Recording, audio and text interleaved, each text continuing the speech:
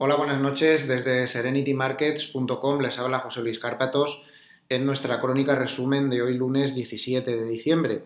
Ante todo, pedirles disculpas porque se nos ha hecho muy tarde para la crónica, son prácticamente las 9 de la noche, pero no he podido, no he podido hacerlo antes. Eh, siempre que vean que me retraso, ya saben que tarde o temprano aparecerá. Hoy estaba grabando vídeos para nuestro Energy Master Bolsa eh, son 200 vídeos y vamos poco a poco. Ha habido un problema técnico y no he podido ponerme con un poco de, calma para hacer esta grabación. Les pido disculpas y mañana volveremos en nuestros vídeos pues a, la normalidad. Eh, una sesión muy importante donde hay que hablar muchísimas cosas. Eh, reitero las disculpas por lo tarde que es, pero tenemos que hablar de lo que ha pasado aquí porque hay muchas cosas.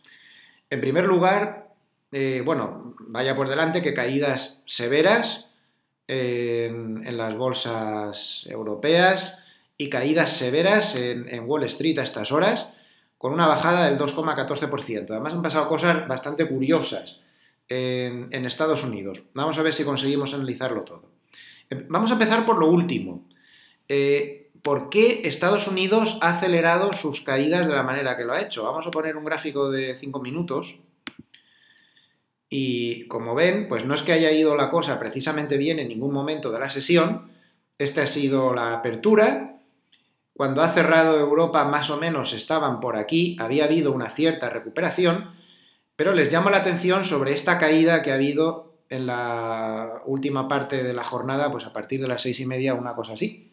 Esto no ha sido porque sí, ha sido por unas declaraciones de un gurú de Estados Unidos que tiene muchos seguidores, que se llama Jeffrey Gunlack. A este hombre le llaman por el sobrenombre de, de Boon King. Eh, trabaja en una empresa que se llama Double Line, eh, Double Line eh, Capital o algo así, y sus predicciones suelen ser seguidas por mucha gente. Bueno, pues este hombre ha aparecido en la CNBC diciendo que estamos en un mercado bajista, en Estados Unidos, que a las bolsas americanas les queda mucho por bajar, mucho por bajar, y que es tal el panorama que eh, la Reserva Federal esta semana, que ya saben que hay reunión, es uno de los motivos por, las, por, por que todo el mundo anda muy tenso, por cierto, Trump ha vuelto a criticar a la Reserva Federal otra vez hoy, bueno, pues dice que no van a subir esta semana tipos de interés porque tienen informes que dicen que la cosa está muy mal. Esto ha asustado a los operadores, y mucha gente, dicen las crónicas, que estaba largo para ver si sonaba la flauta con el tema del rally de Navidad, pues han abandonado sus posiciones y ha habido un cierre masivo. Por los comentarios de, este grupo, yo la verdad es que no, no le conocía, así me suena un poco de lejos, pero bueno, el caso es que parece que es muy importante allí y, y que tiene muchos seguidores, según dicen todas las crónicas, y ha influido mucho en la sesión. En el gráfico diario, pues el deterioro sigue siendo notable y cuidado dónde está el Standard Poor's 500 porque como caiga esta zona de soporte, las cosas se pueden poner más negras que en la boca de un lobo. Fíjense en qué zona de soporte es más peligrosa, donde se ha parado hasta, hasta cuatro o cinco veces y que ahora mismo está en tránsito de perderlo, justo cuando lo normal es que estuviéramos hablando ya del rally de Navidad. Pues de rally de Navidad, como ven, nada. Así que tenemos este comentario del gurú eh, que ha causado las bajadas. Retrocedemos un poco en el tiempo. Una Europa que ha estado bajando todo el día y que le ha contagiado a Estados Unidos, Europa no levanta cabeza ni por casualidad.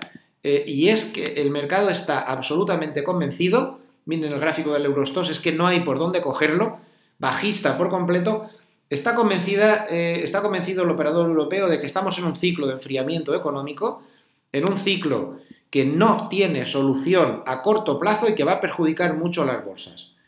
Y esto se va viendo en sucesivos datos macro. Por ejemplo, hoy hemos tenido un dato de inflación más flojo de lo esperado. En Estados Unidos hemos tenido un dato de confianza de las constructoras al menor nivel desde el año 2015 y ya llueve mucho sobre mojado, ¿no? Así que las bolsas están eh, teniendo ese convencimiento como hilo conductor y de ahí no se le va a sacar, así que mucho cuidado. Además, no es una cosa de las bolsas europeas. Hoy el MSCI de bolsas mundiales, es el índice de bolsas mundiales pues más famoso que existe, ha caído 0,7% y estamos hablando de un índice que se forma con las bolsas de 47 países, eh, eh, todos los países desarrollados y algunos emergentes. Así que las cosas no están bien. Segundo tema que ha asustado a las bolsas. Este, eh, volvemos otra vez, este asunto es de Estados Unidos. Un tribunal de Estados Unidos ha declarado inconstitucional el Obamacare, es decir, el, el programa que hizo Obama para mejorar la sanidad de sus conciudadanos. Claro, imagínense cómo ha despertado esto el terror en los valores de cuidados de la salud. Si nos vamos al Dow Jones, pues lo van a ver enseguida, ahí lo tienen, eh, Johnson Johnson menos 3,51%, por ejemplo, y todos están así, con bajadas muy serias. Cualquier valor del sectorial de cuidados de la salud, con esa noticia, pues eh, francamente no tenía ninguna oportunidad, una noticia muy negativa y que tenemos que destacar como una de las causas eh, de las bajadas. Al final, esto acabará contagiando también a las bolsas europeas sin ningún género de duda. Tenemos que destacar un tercer factor bajista, bueno, un cuarto eh, factor, el gurú, el miedo al enfriamiento económico, este tema del Obamacare. China. Los analistas son muy concluyentes y están convenciendo al mercado de que China está dando pasos, pero pasos muy sospechosos. Todas esas compras tremendas que decía Trump, Trump se lo ha inventado directamente, este hombre tiene una imaginación impresionante, no hay esas tremendas compras, como dice él, de soja, no hay tremendas compras de nada. Se han hecho análisis muy concienzudos, nosotros tenemos puesto uno en portada, por ejemplo, hecho por la agencia Reuters, donde se ve que no están ni siquiera llegando al nivel de compra que estaban antes de que empezaran a castigarse el uno al otro, Trump poniendo aranceles y China dejándole de comprar productos, con lo cual eh, no ha conseguido nada Trump con su guerra comercial, porque ahora mismo el superávit comercial de China contra Estados Unidos es el más grande de la historia, porque claro, como les castigan no comprándole sus productos, pues ya está, eh, los aranceles de poco sirven. Eh, nadie se cree nada de los chinos, esas compras no aparecen, las compras en productos estratégicos energéticos no están apareciendo, lo advierten todos los expertos y hay mucha tensión por lo que pueda decir mañana el presidente chino Xi, que va a tener una intervención esperadísima donde se cree que va a dar algún tipo de aclaración sobre lo que de verdad piensa sobre el acuerdo comercial con Estados Unidos. Y por si fuera poco, hay un último tema que ha causado que eh, se haya pasado mal en Europa y que se hayan acelerado las pérdidas. Aquí, como vemos en sectores, este sector no lo tengo. Ha habido muchos sectores que lo han pasado mal, como el sector de automoción, como el sector bancario, menos 1,51.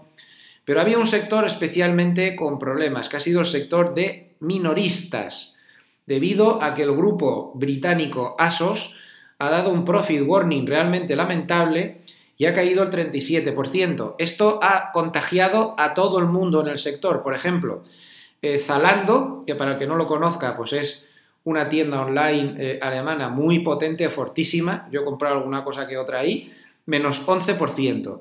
HM, que es como saben el rival de Inditex, pues ha bajado el 8%, nada menos, contagiada por todo esto. Y el propio Inditex, pues eh, lo vamos a ver aquí, vamos a dar un vistazo al IBEX y vamos terminando pues eh, ha caído, ha llegado a estar bastante mal durante la sesión, pero al final, a ver, porque no lo encuentro, aquí está, ha terminado con una fuerte bajada del 3,87%. De hecho, es el segundo valor que más ha bajado del IBEX después de día que está completamente desahuciado.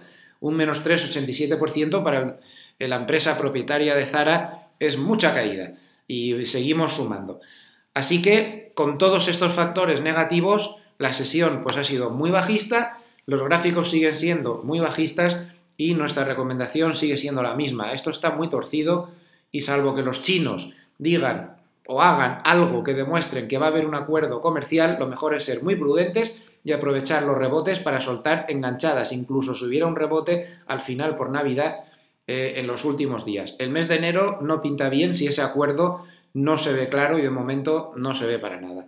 Gracias y de nuevo perdón por la demora. Nos vemos mañana en el vídeo de apertura. Saludos.